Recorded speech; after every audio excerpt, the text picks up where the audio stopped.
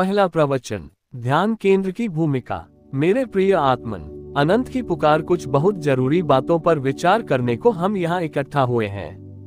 मेरे ख्याल में नहीं थी यह बात की जो मैं कह रहा हूँ एक एक व्यक्ति से, उसके प्रचार की भी कभी कोई ज़रूरत पड़ेगी। इस संबंध में सोचा भी नहीं था।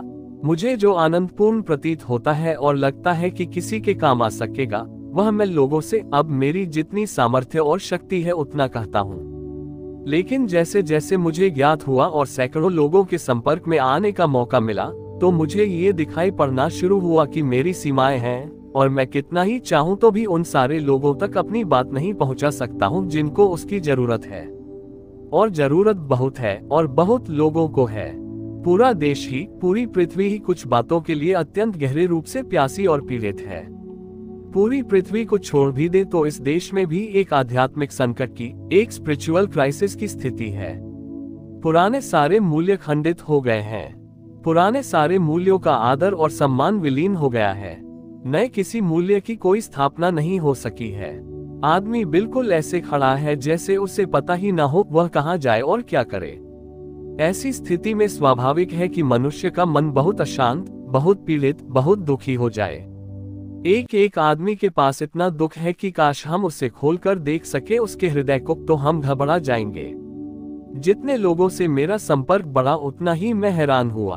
आदमी जैसा ऊपर से दिखाई पड़ता है, उससे ठीक उल्टा उसके भीतर है। उसकी मुस्कुराहटें झूठी है उसकी खुशी झूठी है, उसके मनोरंजन झूठे हैं, और उसके भीतर बहुत गहरा नरक, बहुत अंधेरा, बहुत दुख और पीड़ा भरी है। इस पीड़ा को, इस दुख को मिटाने के रास्ते हैं, इससे मुक्त हुआ जा सकता है। आदमी का जीवन एक स्वर्ग की शांति का और संगीत का जीवन बन सकता है। और जब से मुझे ऐसा लगना शुरू हुआ तो ऐसा प्रतीत हुआ कि जो बात मनुष्य के जीवन को शांति की दिशा में ले जा सकती है, अगर उसे हम उन लोगों तक नहीं पहुँचा देते जिन्हें उसकी ज़रूरत है तो हम एक तरह के अपराधी हैं, हम भी जाने अनजाने कोई पाप कर रहे हैं। मुझे लगने लगा कि अधिकतम लोगों तक कोई बात उनके जीवन को बदल सकती हो तो उसे पहुँचा देना ज़रूरी है। लेकिन मेरी सीमाएँ हैं, मेरी सामर्थ्य है, मेरी शक्ति है, उसके बाहर वह नहीं किया जा सकता। मैं अकेला जितना दौड़ सकता हूँ, जितने लोगों तक पहुँच सकता हूँ, वे चाहे कितने ही अधिक हो, फिर भी इस वृहद जीवन और समाज को और इसके गहरे दुखों को देखते हुए उनका कोई भी परिमाण नहीं है। एक समुद्र के किनारे हम छोटा मोटा रंग घोल दें, कोई एक आध छोटी मोटी लहर रंगीन हो जाए, इससे समुद्र के जीवन में कोई फ़र्क नहीं पड़ सकता है। और बड़ा मज़ा यह है कि वह एक छोटी सी जो लहर थोड़ी सी रंगीन भी हो जाएगी, वह भी उस बड़े समुद्र में थोड़ी देर में खो जाने को है, उसका रंग भी खो जाने को है। तो कैसे जीवन के इस बड़े सागर में दूर दूर तक शांति के रंग फेंके जा सके, उस संबंध में ही विचार करने को हम यहाँ इकट्ठे हुए हैं। इसके साथ ही यह भी मुझे दिखाई पड़ता है कि जो आदमी केवल अपनी ही शांति में उत्सुक हो जाता है, वह आदमी कभी पूरे अर्थों में शांत नहीं हो सकता है। क्योंकि अशांत होने का एक कारण ये भी है केवल अपने आप में ही उत्सुक होना। मात्र अपने में ही उत्सुक होना सेल्फ सेंटर्ड होना भी अशांति के बुनियादी कारणों में से एक है।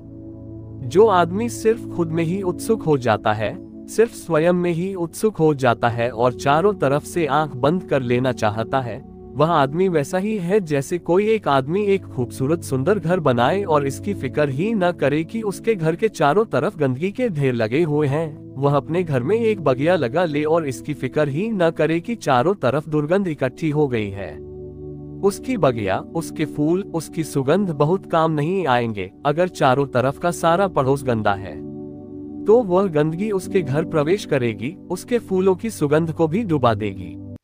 मनुष्य को न केवल अपने में, बल्कि अपने पड़ोस में भी उत्सुक होना ज़रूरी है।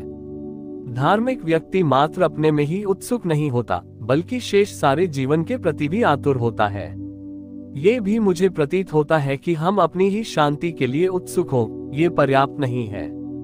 हमारे चारों तरफ़ जो जीवन है, जिससे हम अंतर संबंधित हैं, जिससे हम जुड़े हैं, उस जीवन में भी शांति की कोई हवाएँ पहुँच सके इसके लिए भी हमारी उत्सुकता ज़रूरी है। और जो व्यक्ति अपने चारों तरफ़ के जीवन को भी शांति की दिशा में ले जाने के लिए प्यासा हो जाएगा, वह पाएगा कि चाहे वह दूसरों को शांत कर पाया हो या न कर पाया हो, लेकिन दूसरों को शांत करने के महत्वपूर्ण प्रयास में वह स्वयं ज़रूर ही शांत हुआ है। बुद्ध के जीवन में उल्लेख है। शायद काल्पनिक ही कथा होगी, लेकिन बहुत मधुर है। बुद्ध का निर्वाण हुआ, वे मोक्ष के द्वार पर पहुँच गए। द्वारपाल ने द्वार खोल दिए, लेकिन बुद्ध पीट करके द्वार की तरफ़ खड़े हो गए। द्वारपाल ने पूछा, आप पीठ करते हैं मोक्ष की तरफ़? बुद्ध ने कहा, मेरे पीछे बहुत लोग हैं। जब तक वे भी मोक्ष में प्रविष्ट नहीं हो जाते, तब तक मैं अकेला मोक्ष में प्रविष्ट हो जाऊँ। इतना कठोर, इतना क्रूर, इतना हिंसक मैं नहीं हूँ। मैं रुकूँगा, प्रतीक्षा करूँगा, बहुत लोग हैं। मेरा शांत मन तो यही कहता है कि मैं अंतिम आदमी ही होऊँगा मोक्ष में प्रवेश करने वाला। पहले सारे लोग प्रविष्ट हो जाएँ। बड़ी मीठी कथा है। वह कथा कहती है, बुद्ध अब भी मोक्ष के द्वार पर ही रुके हैं, ताकि सारे लोग मोक्ष में प्रविष्ट हो जाएँ। वे अंतिम ही प्रविष्ट होना चाहते हैं। जिस हृदय में ऐसा भाव उठा हो, उसे मोक्ष उपलब्ध ही हो गया। उसे किसी मोक्ष में प्रविष्ट होने की कोई ज़रूरत नहीं है। उसके लिए सब मोक्ष फीके हो गए। वह मोक्ष में पहुँच ही गया, जिसके हृदय में ऐसा करुणा का भाव उठा हो। शांत केवल वे ही हो पाते हैं, जिनके जीवन में चारों तरफ़ शांति पहुँचाने की प्रबल प्रेरणा काम करने लगती है। ये भी मेरे ख्याल में आता है कि जो मित्र इस दिशा में उत्सुक हुए हैं, वे केवल अपने में ही उत्सुक न हो, और सब में भी उत्सुक हो जाएँ। उनकी यह उत्सुकता दूसरों के लिए हितकर होगी ही, न भी हुई तो भी उनके स्वयं के लिए बहुत अर्थपूर्ण होगी। बहुत बहुत गहरे शांति में और आनंद में उन्हें प्रविष्ट करने में सहयोगी होगी। क्योंकि अशांति का एक कारण है स्वयं में केंद्रित हो जाना, और जो इस केंद्र को बिखेर देता है वह शांत होने की दिशा में गतिशील हो जाता है। तो ये बात कहने के लिए, यहाँ इस बात के संबंध में विचार करने के लिए हम इकट्ठे हुए हैं कि मैं आपसे ये कह सकूँ कि किन रास्तों से अधिकतम लोगों तक प्रेम की, शांति की और करुणा की बात पहुंचाई जा सकती है। क्या उपाय खोजे कि वह बात पहुँच सके? क्या रास्ता हो सकता है? यह कोई प्रोपगेंडा नहीं है। यह कोई संप्रदाय खड़ा करना नहीं है। यह कोई ऑर्गेनाइजेशन, कोई संगठन खड़ा करना नहीं है। कोई ऐसा केंद्र खड़ा नहीं करना है जो शक्तिशाली हो जाए। बल्कि इस भांति सब तक कोई बात पहुँचा देनी है, बिना संगठन के, बिना संप्रदाय के, बिना ऑर्गेनाइजेशन के, बिना किसी केंद्रित शक्ति को बनाए हुए। और इसलिए बहुत विचार करने की ज़रूरत है। अगर एक संप्रदाय बनाना हो तो बहुत विचार करने की ज़रूरत नहीं रह जाती। अगर एक संगठन खड़ा करना हो तो कोई बहुत विचार करने की ज़रूरत नहीं रह जाती। दुनिया में संगठन बनाने के नियम सबको पता है, संप्रदाय खड़े करने की तरकीबें सबको पता है। हज़ारों संप्रदाय खड़े हो चुके हैं। उन संप्रदायों में एक संप्रदाय खड़ा नहीं कर देना है। इसलिए बहुत विचार करने की ज़रूरत है कि संप्रदाय भी खड़ा न हो, कोई संगठन भी खड़ा ना हो, और जो बात हमें प्रीतिकर लगे, आनंदपूर्ण लगे, उस बात को हम सब तक पहुँचा भी सके। प्रोपेगेंडिस्ट भी हम न हो और प्रचार भी हम कर सके। इसलिए बहुत डेलिकेट बहुत महीन और बहुत सूक्ष्मता से विचार करने की ज़रूरत है। खाए और कुएँ के बीच चलने जैसा है। एक तो यह है कि हम कोई प्रचार ही न करें, क्योंकि खतरा है कि संप्रदाय न बन जाए। इसका मतलब है कि हम बात ही न पहुँचाए किसी तक। दूसरा यह है कि हम बात पहुंचाएँ तो संप्रदाय बना लें। वह भी खतरा है। बात तो पहुंचानी है सब तक, लेकिन संप्रदाय न बन पाए, ये ध्यान रखना अत्यंत ज़रूरी है। तो कैसे यह बात बिना प्रचार के प्रचार हो सके, बिना संप्रदाय के, बिना संगठन के अधिकतम लोगों तक? जो ज़रूरी है वह खबर, वह सूचना वो संदेश उन तक पहुँचाया जा सके। इस संबंध में विचार करने को यहाँ आपको आमंत्रित किया है। मुझे कुछ जो बातें दिखाई पड़ती हैं वे इन आने वाली बैठकों में मैं आपसे धीरे धीरे कहूँगा और आपसे भी आशा करूँगा कि आप सोचेंगे इस दिशा में। कुछ बातें प्राथमिक रूप से मैं आज आपसे कहूँ, जिन पर आप विचार कर सकें। पहली बात, जितना बड़ा संदेश है उतना बड़ा हमारे पास आज मित्रों का कोई समूह नहीं है। संगठन चाहिए भी नहीं, सिर्फ़ समूह चाहिए। और समूह और संगठन का फ़र्क ख्याल में होना चाहिए। समूह का मतलब होता है, प्रत्येक व्यक्ति स्वतंत्र है वहाँ। अपनी आज़ादी से आया है और अपनी आज़ादी से अलग हो सकता है। समूह का मतलब है, प्रत्येक व्यक्ति दूसरे व्यक्ति के बराबर है, कोई नीचा और ऊँचा नहीं है, कोई पदाधिकारी नहीं है, कोई अनुयायी नहीं है, कोई नेता नहीं है, समूह का अर्थ है। मित्रों का एक समूह बनाना है, एक संगठन नहीं। क्योंकि संगठन में फिर पदाधिकारी होते हैं, ऊपर नीचे आदमी होते हैं, और संगठन का अपना एक जाल होता है। एक हायरेरकी होती है, नीचे से ऊपर तक सीढ़ियाँ और पद होते हैं। और फिर उनके साथ आई हुई पॉलिटिक्स होती है, राजनीति होती है। क्योंकि जहाँ पद है, वहाँ राजनीति आनी अनिवार्य है। जो पदों पर होते हैं, वे भयभीत हो जाते हैं कि उन्हें कोई पदों से अलग न कर दे। जो पद पर नहीं होते, वे उत्सुक होते हैं कि हम पद पर कैसे पहुँच जाएँ। तो एक अपना उपद्रव है संगठन का। हमें एक मित्रों का समूह बनाना है, कोई संगठन नहीं बनाना है। समूह में प्रत्येक व्यक्ति बराबर है, समान मूल्य का है। कोई पदाधिकारी नहीं है, कोई आदृत नहीं है, कोई नीचा नहीं है, कोई ऊँचा नहीं है। और प्रत्येक व्यक्ति सिर्फ़ अपने प्रेम के कारण वहाँ आया है।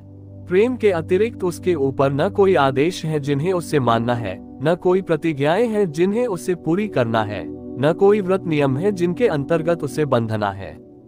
सिर्फ़ उसके प्रेम और उसकी व्यक्तिगत स्वतंत्रता से सम्मिलित हुआ है वह, और जिस क्षण चाहे उसी क्षण अलग हो जा सकता है। और जब वह सम्मिलित भी है तब भी किसी एक डॉगमा, किसी एक सिद्धांत से बंधा हुआ नहीं है। तब भी वह स्वतंत्र है भिन्न मत रखने को, अपना विचार रखने को, अपने विचार को मानने को, अपनी बुद्धि का अनुसरण करने को। वह किसी का अनुयायी होकर वहाँ नहीं है। तो मित्रों का एक समूह जीवन जागृति केंद्र बन सके, इस दिशा में सोचना है। वह निश्चित ही मित्रों के समूह बनाने के नियम अलग होते हैं, संगठन बनाने के नियम अलग होते हैं। मित्रों का समूह एक बिल्कुल ही जिसको हम कहें अराजक, अनार्किक संस्था होती है। संगठन एक सुव्यवस्थित, बंधी हुई नियमों से, सिद्धांतों से, कानूनों से बंधी हुई व्यवस्था होती है। मेरी कोई मर्ज़ी कोई कानूनों में, बहुत नियमों में, सिद्धांतों में बांधने की नहीं है। क्योंकि उन्हीं सबके खिलाफ मैं लड़ रहा हूँ। उन्हीं सबके तो संगठन सारी दुनिया में खड़े हुए हैं। हम एक और संगठन वैसा खड़ा कर दें। निश्चित ही संगठन में ज़्यादा एफिशिएंसी होती है, ज़्यादा कुशलता होती है। उतनी समूह में कुशलता नहीं हो सकती। लेकिन कुशलता के मूल्य पर स्वतंत्रता खोना बहुत कीमती सौदा करना है।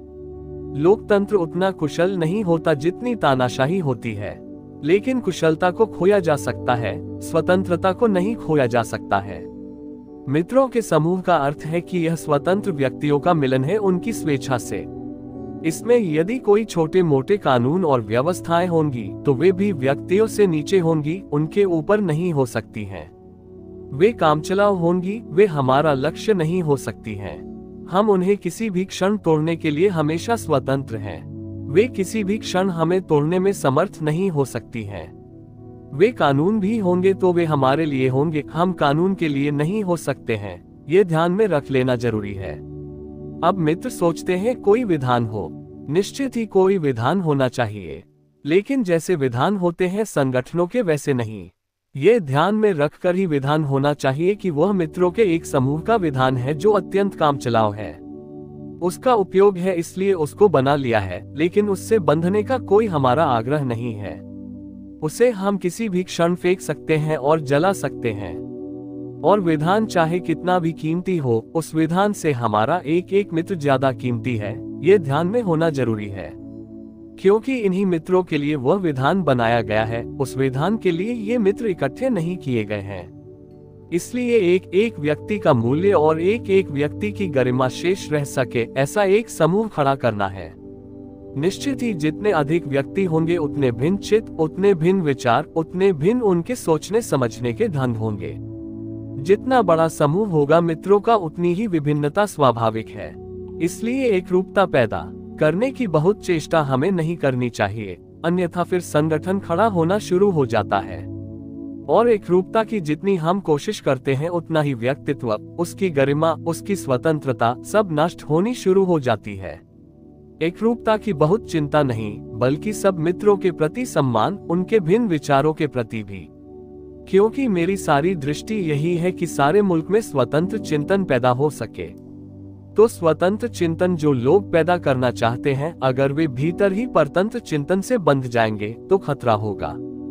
इसलिए मेरे प्रति भी इस मित्रों के समूह की कोई श्रद्धा नहीं होनी चाहिए। मेरे प्रति भी कोई श्रद्धा का भाव नहीं होना चाहिए।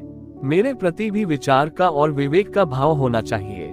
मैं जो कहता हूँ, वह ठीक लगता हो, प्रीतिकर मालूम होता हो, उपयोगी मालूम होता हो तो उसे लोगों तक पहुँचा देना है। मैं कहता हूँ, इसलिए पहुँचा देना है। ऐसी भूल में नहीं पड़ जाना चाहिए। व्यक्ति के केंद्र पर भी मित्रों का समूह निर्भर नहीं होना चाहिए कि एक व्यक्ति पूजा का केंद्र बन जाए, मैं या कोई भी दूसरा।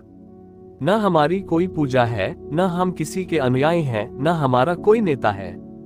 हमें तो सामूहिक रूप से एक विचार, एक संदेश प्रीतिकर लगता है। ऐसा लगता है कि अधिकतम लोगों तक पहुँच जाए तो उनका मंगल होगा, इसलिए हम मित्र इकट्ठे हुए हैं और उसको पहुँचा देना चाहते हैं। तो पहली बात यह है कि संगठन के संबंध में थोड़ा विचार करेंगे। संगठन हमें नहीं बनाना है, एक मित्रों का समूह भर बनाना है। और इन दोनों के बीच जो बारीक भेद है, वह समझने की कोशिश करेंगे। और हर एक मित्र का ये कर्तव्य होगा कि वह संगठन बनने से बचा सके इस संस्था को। यह मेरे अकेले के हाथ में नहीं है। मैं कह सकता हूँ, लेकिन यह मेरे अकेले के हाथ में नहीं है। और बहुत सजग हम न रहे तो ये खतरा है कि यह संगठन बन जाए। बहुत सजग रहने की ज़रूरत है और बहुत होश से प्रयोग करने की ज़रूरत है कि यह संगठन न बन जाए। संप्रदाय बनने के कुछ अनजाने रास्ते होते हैं, पता भी नहीं चलता और वह बनना शुरू हो जाता है। तो उस पर ध्यान रखने की ज़रूरत है। और पूर्व से हम सचेत रहे तो शायद हम वैसी व्यवस्था कर सके कि वह न बन पाए। एक तो यह विकल्प है। दूसरा विकल्प यह है कि इस बात से अगर हम डर जाए कि संगठन न बन जाए, संप्रदाय न बन जाए, इसलिए कुछ करना ही नहीं है तो दूसरा खतरा शुरू हो जाता है। फिर कुछ करना नहीं है तो जो बात पहुंचानी है, उसे पहुंचाना असंभव है। तब फिर वह मेरे अकेले कंधों पर रह जाती है। बात की मैं जितना दौड़ सकूँ, उतना लोगों तक पहुँचा दूँ। वह मैं करता रहूँगा, उससे कोई फ़र्क नहीं पड़ता है। लेकिन वही बात बहुत लोगों तक पहुँच सकती है। जितने अधिक मित्रों का सहयोग होगा, उतने दूर तक पहुँच सकती है। उतनी सरलता से पहुँच सकती है।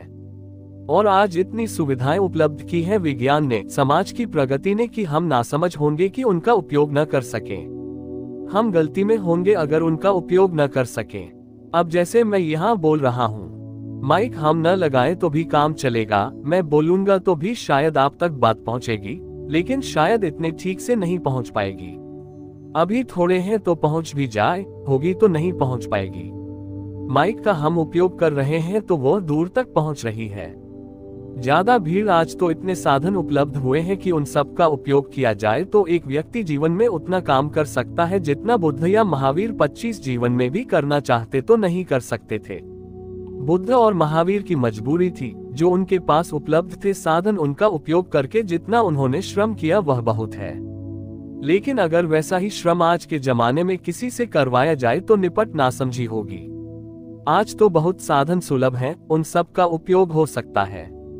और एक आदमी जीवन में इतना काम कर सकता है जिसके लिए अगर वह 400 साल जिए और बिना साधन के मेहनत करे तो भी नहीं कर पाएगा। तो उन सारे साधनों का हम उपयोग कर सकें, इसके लिए विचार करना ज़रूरी है। यह मेरे अकेले के वश की बात नहीं है, उसके लिए बहुत मित्रों की ज़रूरत है, बहुत प्रकार के मित्रों की ज़रूरत है। कोई श्रम कर सकता है, कोई बुद्धि से विचार कर सकता है, कोई धन की व्यवस्था कर सकता है, कोई और तरह के। जो जिसकी सूझ, जो जिसका व्यक्तित्व हो, उस तरह से सहयोगी हो सकता है। ये भी ध्यान में रखना ज़रूरी है कि यह मित्रों का वर्ग जितना बड़ा हो, उतना अच्छा है। क्योंकि उतने ही अधिक तरह के, भिन्न तरह के लोग आएँगे और भिन्न तरह का अनुदान, दान कर सकेंगे। भिन्न तरह की सेवाएँ, भिन्न तरह का उनका सहयोग और काम को ज़्यादा समृद्ध बना सकेंगे। अक्सर यह होता है कि मित्रों की सीमाएँ तय हो जाती हैं। अपरिचित लोगों से एक भय होता है। मन में स्ट्रेंजर से थोड़ा भय होता है कि पता नहीं ये क्या गड़बड़ करेगा भीतर आने पर। तो आमतौर से यह हो जाता है कि 10-25 मित्र जब कहीं इकट्ठे हो जाते हैं तो वे एक घेरा बना लेते हैं। और फिर नए लोगों को भीतर आने में उनको थोड़ा डर होने लगता है। ये डर होता है कि कहीं यह नया आदमी कोई गड़बड़ न कर दे। ये डर तो स्वाभाविक है। ये कामना और भावना भी अच्छी है कि नया आदमी कोई गड़बड़ न कर दे। लेकिन एक नए आदमी से 25 पुराने आदमियों का डरना बड़ी कमज़ोरी की बात है। सोचना ये चाहिए कि एक नए आदमी को हम 25 बदलने की कोशिश करेंगे या एक नया आदमी हम 25 को बदल देगा। और अगर हम 25 इतने कमज़ोर हैं कि एक नया आदमी बदल देगा तो बदल ही देना चाहिए। इसमें हर्ज भी क्या है? इसमें बुराई भी क्या है? हमेशा ये होता है कि जब भी कोई वर्ग इकट्ठे होने शुरू होते हैं तो एक दायरा बन जाता है। फिर उस दायरे के बाहर के आदमी और उनके बीच में एक फासला हो जाता है। अनजाने होता है, कोई जानकर यह नहीं करता है। ये मन के स्वाभाविक नियम है। अगर आप किसी अजनबी गाँव में चले जाएँ और आपके साथ दो चार मित्र वहाँ हो तो शायद आप उस अजनबी गाँव में मित्र ही नहीं बनाएँगे। वह दो चार मित्र के घेरे में ही आप घिरे रह जाएँगे और उससे बाहर नहीं निकलेंगे। मजबूरी आ जाए कि आप अकेले पड़ जाए तो बात दूसरी है, शायद आपको मित्र बनाना पड़े, नहीं तो आप मित्र नहीं बनाएँगे।